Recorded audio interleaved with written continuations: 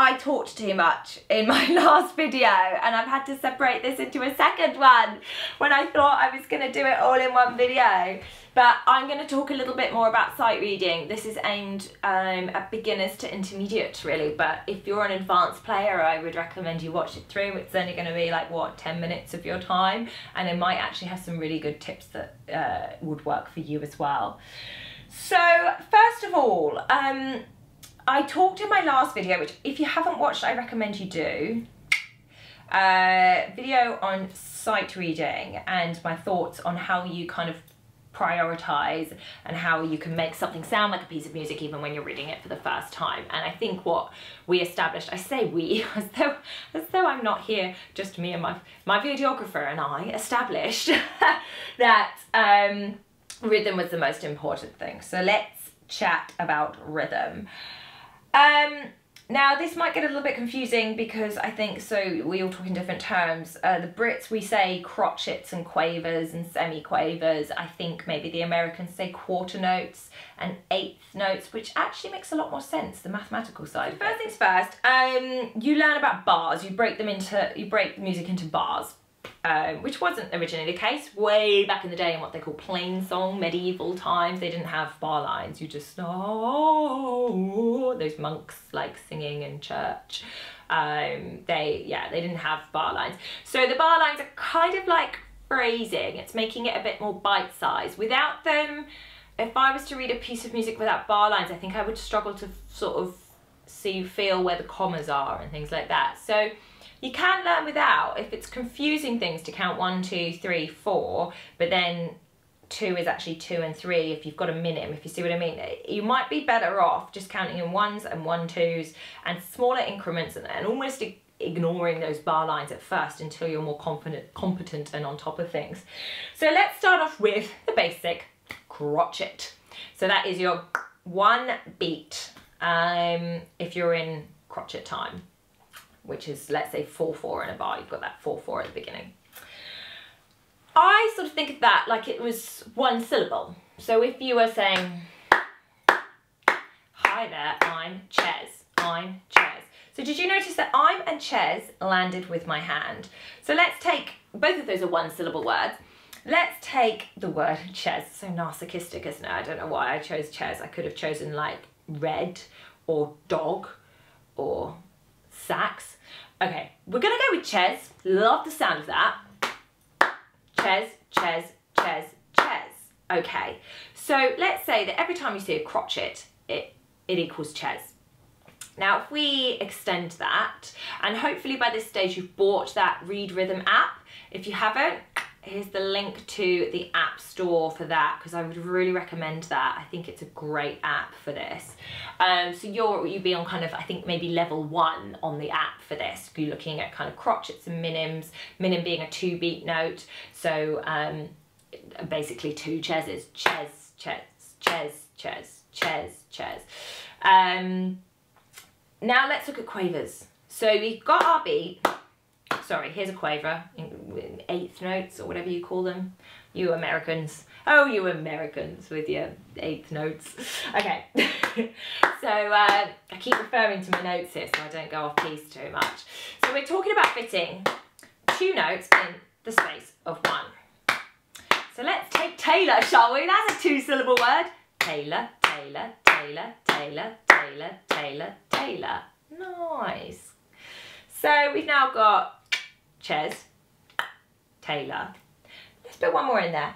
How about, how about uh, if we were to try and squeeze in, um, okay, uh, how about if we were to try and squeeze in uh, semiquavers? So they look like this.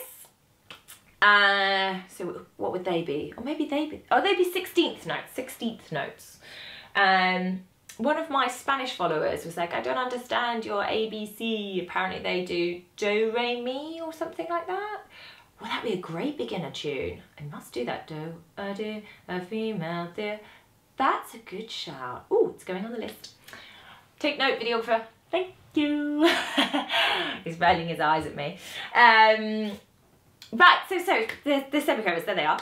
Um, for that, we need a four syllable word. The one that pops into my head, because I'm very fond of these, is cappuccino. Mmm, love the froth. So here's at my beat, and I've got to fit the word cappuccino within every clap. Cappuccino, cappuccino, cappuccino, cappuccino. Nice. Okay, so we've ended up with Chez, Chez, Chez, Chez. This one. Taylor, Taylor, Taylor, Taylor. And this one. Cappuccino, cappuccino, cappuccino, cappuccino. With that in mind, can you read this rhythm here? Okay, I'm going to give you one, two, three, four in, and then you're going to give it a go, and then I'll kind of sing it back so that you get the idea. Two, three, four. Okay, here's mine. Chez, Chez, Taylor, cappuccino. Is that something that you had? So ta, ta, ta, ta, ta. Nice. So that's kind of my thoughts on rhythm. Could go into a little bit more depth. There's a few more that might be useful for you. Triplets, they look like this. Um, a three syllable word you need.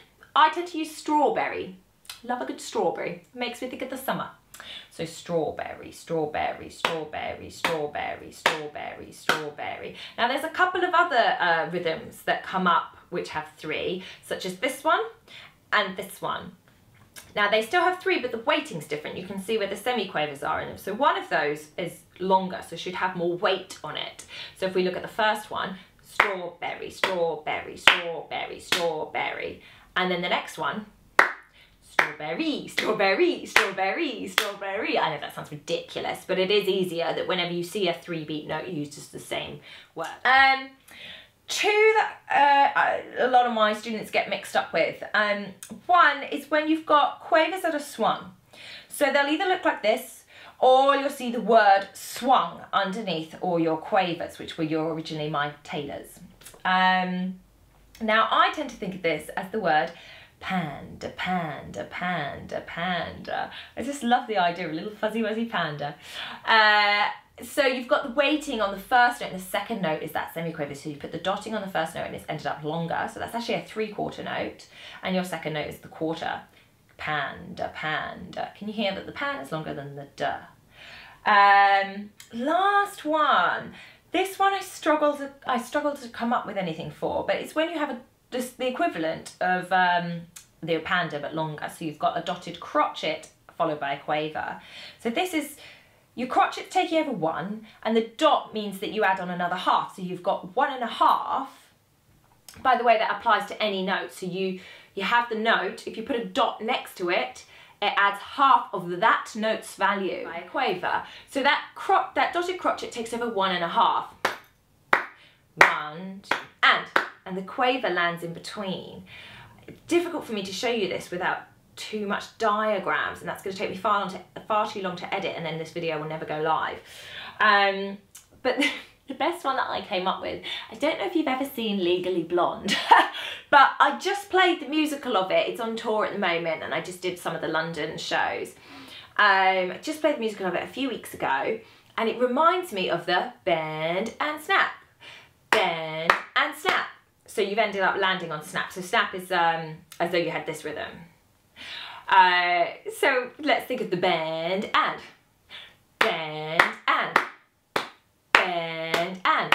And as a special treat, I will do the bend and snap. If you've never seen this in Legally Blonde, you're gonna think I'm bonkers if you don't already. So maybe I should put a link to them. Okay, here's a link to the actual bend and snap um, from the Broadway show. I'll find the bend and snap song and you'll see what I mean. But here we go. Basically, you bend and snap.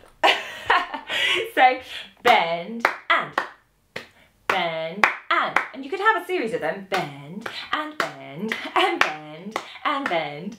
So hopefully that's um, useful for you. If it was please give me a thumbs up. I really really appreciate that. These videos are hugely time consuming and I'm hugely busy. So I love it when I get some feedback from people even if it's someone saying oh I didn't understand that bit or if it's someone saying you talk too fast. Can you talk a bit slower that's that's good. It means there's people out there and they're watching and it's worth me doing these videos and carrying on. So please do get in touch and any suggestions if you're like, okay, well that was really useful, but actually I need some help with this, please comment. Uh, that's what the comments box is for and I will always get back to you. I pride myself on being a good communicator. I try my best. So get in touch. Uh, I'm also on Twitter and Insta and Snap and all of those things. I do the social medias.